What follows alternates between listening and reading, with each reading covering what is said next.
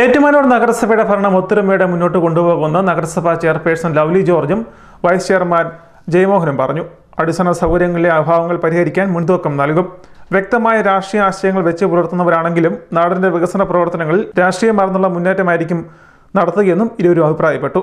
സഞ്ചാരയോഗ്യമായ റോഡുകൾ വഴിവിളക്കുകൾ ശുദ്ധജല വിതരണം പാർപ്പിട പ്രശ്നങ്ങളുടെ പരിഹാരം എന്നിവയ്ക്കായിരിക്കും പുതിയ നഗരസഭ പ്രാമുഖ്യം നൽകുന്നതെന്നും സാരഥികൾ പറഞ്ഞു. നഗരസഭാ അധ്യക്ഷ ലവ്ലി ജോർജിന് കൗൺസിലർ എന്ന നിലയിൽ അഞ്ച് വർഷത്തെ പരിചയവും. ഏറ്റുമാനൂർ ഗ്രാമപഞ്ചായത്തിൽ മെമ്പറായിരുന്ന കാലത്തെ പ്രവൃത്തി പരിചയവും മുന്നോട്ടുള്ള പ്രയാണത്തിൽ മുതൽക്കൂട്ടാകും. നഗരസഭാ വൈസ് ചെയർമാൻ പുതുമുഖമാണെങ്കിലും എല്ലാവരുമായും ആശയം പങ്കുവച്ച് മുന്നേറാനുള്ള ആഗ്രഹമാണ് പുലർത്തുന്നത്. പുതിയ ഭരണസമിതി അധികാരമേറ്റതോടെ ഏറ്റുമാനൂർ നഗരത്തിന് മാറ്റത്തിന്റെ കാറ്റ് വീശുമെന്ന പ്രതീക്ഷയിലാണ് നഗരവാസികൾ.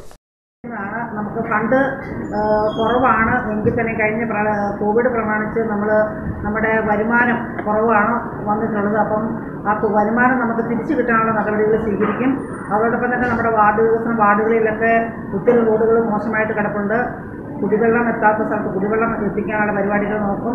അതോടൊപ്പം തന്നെ നമ്മുടെ വാർഡിന്റെ വികസനങ്ങൾക്ക് മുൻതൂക്കം കൊടുക്കും. കാരണം കഴിഞ്ഞ തവണ കൗൺസിലർമാർക്ക് ഒന്നും വാർഡുകൾ ചെയ്യാൻ സാധിച്ചിട്ടില്ല. അപ്പം അങ്ങനെയുള്ള പ്രവർത്തനങ്ങൾക്ക് മുൻതൂക്കം കൊടുത്ത് പ്രവർത്തിക്കും.